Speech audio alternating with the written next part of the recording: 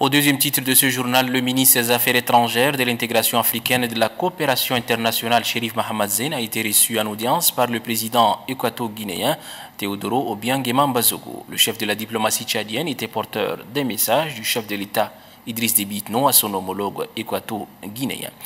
Jean-Philippe Odinakashi. Cette mission conduite par le ministre des Affaires étrangères, de l'intégration africaine et de la coopération internationale Chérif Mohamed Zen témoigne du succès diplomatique à la hauteur de son et de l'aura qui a toujours accompagné la conduite de la politique étrangère du Tchad. Le gouvernement tchadien est déterminé à collaborer avec la Guinée équatoriale pour faire jaillir la lumière sur le putsch qui a été déjoué dans la nuit du 27 au 28 décembre dernier. Le président Idriss euh, Déby en sa qualité également de président de la communauté économique et monétaire de l'Afrique centrale, a estimé que cette menace de déstabilisation n'est pas une affaire uniquement de la Guinée équatoriale.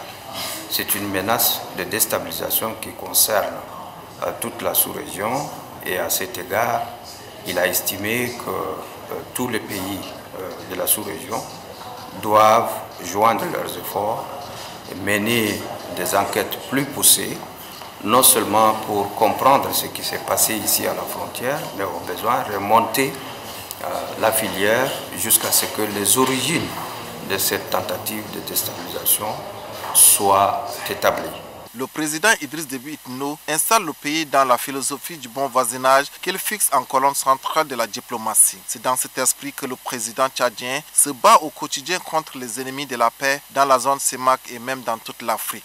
Une enquête est en cours pour identifier les commanditaires de l'opération et déterminer le soutien dont aurait bénéficié le commando. Cette tentative de déstabilisation ne devrait pas euh, servir euh, quand même euh, de prétexte pour que la libre circulation dans la zone CEMAC soit remise en cause. C'est un processus d'intégration. Euh, nous avons l'obligation de travailler ensemble, de collaborer, de coopérer et de mettre en commun nos services sécuritaires et de renseignement afin de démanteler ce réseau de mercenaires et d'éviter que ce genre de réseau se reconstitue euh, ici ou ailleurs dans la zone euh, comme chez les diplomates, les éléments de langage se font plus prudents. Le ministre souligne qu'après les enquêtes menées, les détails seront fournis, mais une bonne partie des assaillants a été arrêtés par l'armée camerounaise.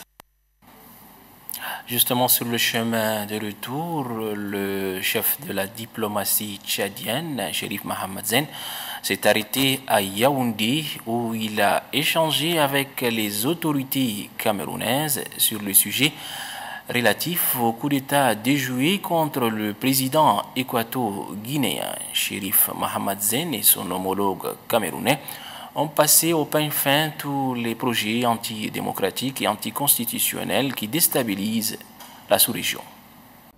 Revenons ici en Djamena où le ministre des Finances et du Budget, Dr Abdoulaye Sabre Fadoul, a fait un point de presse cet après-midi. Objectif, faire comprendre aux agents de l'État la question de la masse salariale. Suivez plutôt le ministre des Finances et du Budget. Nous avions terminé l'année 2017 avec euh, une masse salariale de plus de 376 milliards de francs CFA, soit presque 100% des recettes cumulées des douanes et des impôts. Ensuite, il vous souviendra qu'en 2016, face à la crise qui frappait notre pays, le gouvernement a été amené à prendre un certain nombre de mesures, dont le décret numéro 687 portant réduction de 50% des indemnités des agents de l'État. Ce qu'il faut comprendre, c'est que cette mesure a permis d'économiser 2 milliards et demi par mois. Dans la pratique, sur l'ensemble des agents de l'État, seulement 40% ont été concernés, ont été touchés par la réduction des indemnités. Ensuite, notre pays est engagé dans un programme de réforme avec nos partenaires, plus particulièrement les Fonds monétaires internationaux, avec des conditionnalités, avec des critères quantitatifs et des repères structurels que nous devrions respecter pour continuer à bénéficier des appuis budgétaires de nos partenaires.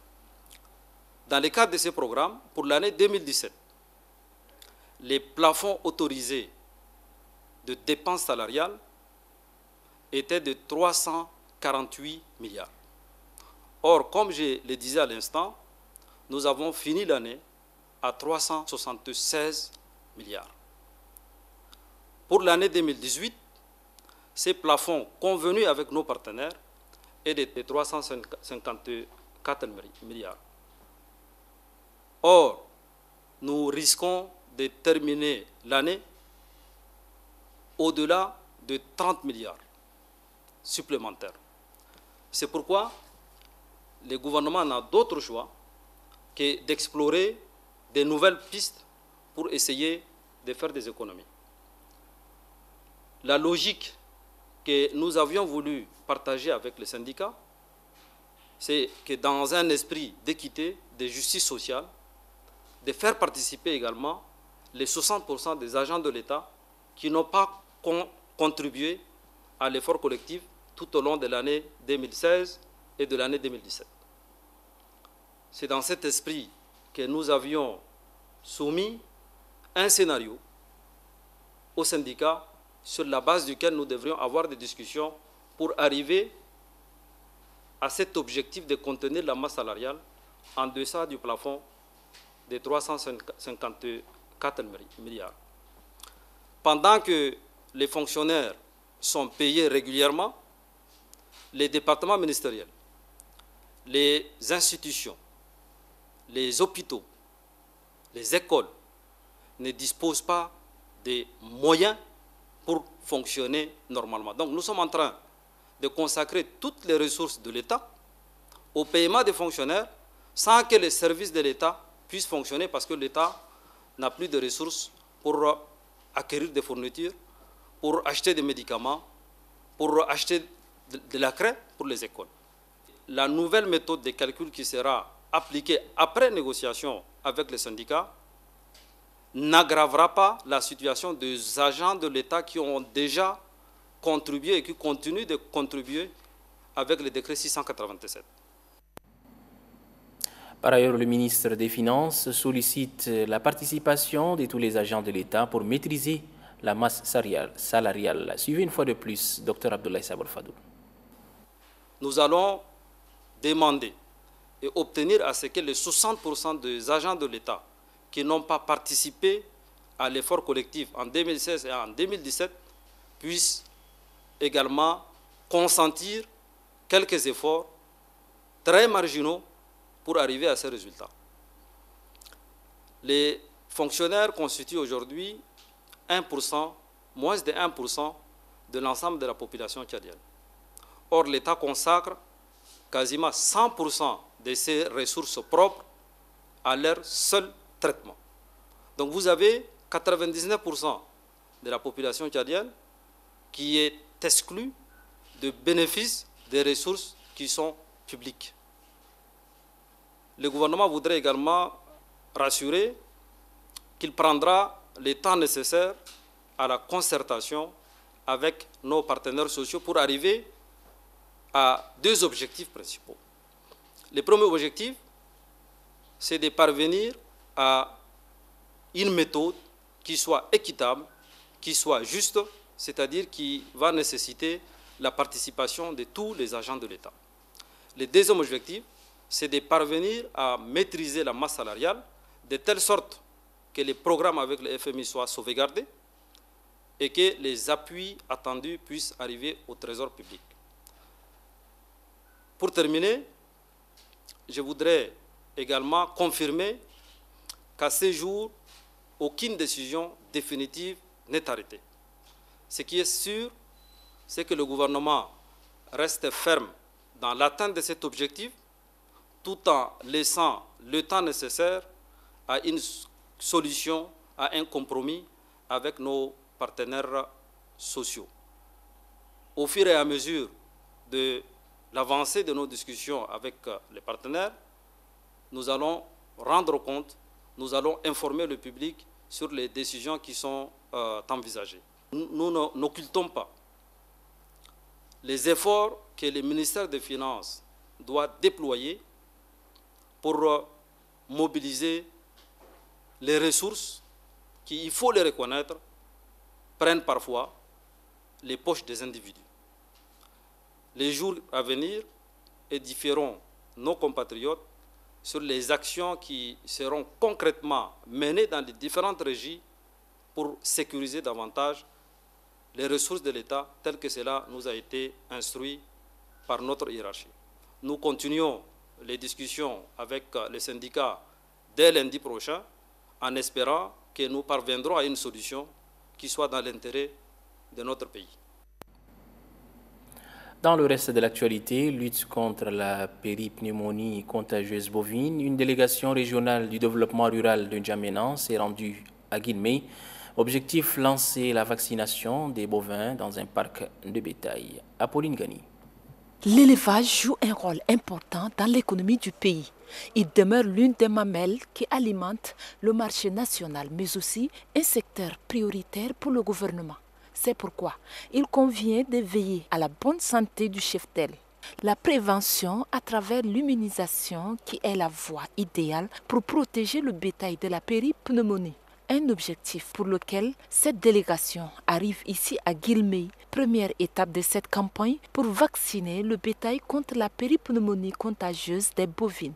Selon le délégué régional du développement rural de N'Djamena, la péripneumonie contagieuse des bovines PPCB est une maladie dangereuse et son élimination nécessite l'implication de tous. Nous avons opté euh, à mener cette campagne sur instruction de hautes autorités le gouvernement a mis tous les moyens à notre disposition qu'on arrive à renforcer notre couverture sanitaire. Pour cela, on nous avait jugé utile de couvrir euh, toute la périphérie de avec une couverture euh, de vaccination solide. Pour l'administrateur délégué du premier arrondissement, la vaccination contre la péripneumonie contagieuse des bovines PPCB a tout son pesant d'or, puisqu'elle permet de mettre à l'abri le chef-tel national. Euh, mon intervention, c'est pour, pour demander aux éleveurs euh, du premier arrondissement de faire sortir massivement leur bétail. La vaccination, euh, il y a une, euh, une, taxe qui est instaurée pour les vaccins des, des bovins à 100 francs payés par l'éleveur et pour les ovins caprins 50 francs contre un reçu. Cette campagne de vaccination lancée par le ministère de l'élevage concerne les bétails de N'Djamena et ceux des villages environnants. Cette, euh, cette, nouvelle brève cérémonie des sacrifices du président fondateur du président du Parti pour la Renaissance du Tchad, Ahmad Nassour Afin. C'était cet après-midi euh, au domicile familial euh, au quartier Farcha. Occasion pour les anciens collaborateurs de lui rendre un dernier hommage. Suivez plutôt leur témoignage. Le défunt Ahmad Nassour est l'un de mes meilleurs amis.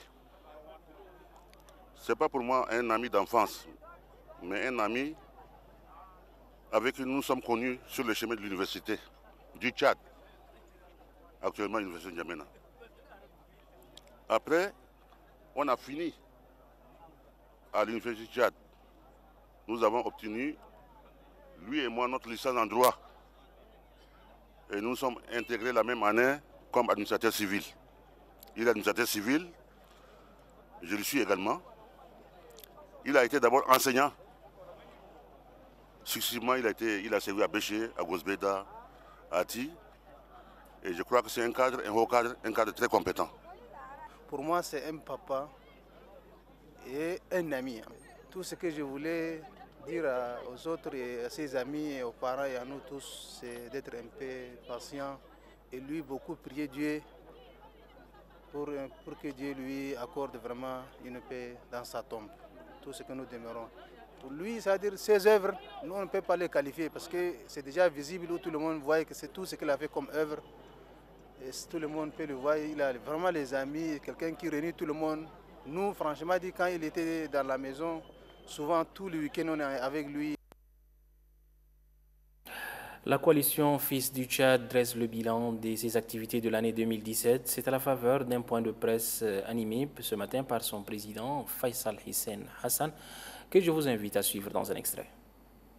La coalition Fils du Tchad, en tant qu'acteur sans contexte de la société civile, appuie réaliser 12 colloques et conférences débats sur différentes thématiques liées à l'unité nationale, l'amour de la patrie, la cohabitation pacifique, la lutte contre le terrorisme, la sécurité et la paix. Neuf conférences débats sur la culture, la conservation des patrimoines culturels. 14 activités avec les jeunes leaders des organisations de la société civile sur la question liée au développement de la jeunesse tchadienne. 21 sessions de formation, dont 664 bénéficiaires. Le lancement officiel de la Banque alimentaire tchadienne, grande initiative humaine au Tchad. Le lancement de la campagne de sensibilisation dans l'établissement scolaire et parascolaire pour la réussite scolaire sur une durée de 9 mois. La participation aux séances de concertation avec le comité technique chargé de la réforme des institutions de l'État. Neuf principales activités et rencontres d'échange sur la crise économique et financière qui traverse le Tchad, ce qui a vu la participation directe de la coalition Fils du Tchad à la table ronde de Paris et le forum d'investisseurs d'Abu Dhabi. 12 participations aux divers forums et rencontres internationales. La Société nationale d'électricité poursuit ses opérations de contrôle du réseau des fraudeurs. Ce matin, les agents de cette société se sont rendus au quartier d'Igel, Zafaya, où plusieurs cas de fraude ont été décelés. Ngongar Emmanuel. Après cinq jours de l'opération de démantèlement du réseau des fraudeurs d'électricité au quartier d'Enguessou, c'est le tour du quartier d'Igel Safai dans le 8e arrondissement. Les faits sont les mêmes les conduites électriques et compteurs fictifs ont été démantelés par les techniciens de la Société nationale d'électricité.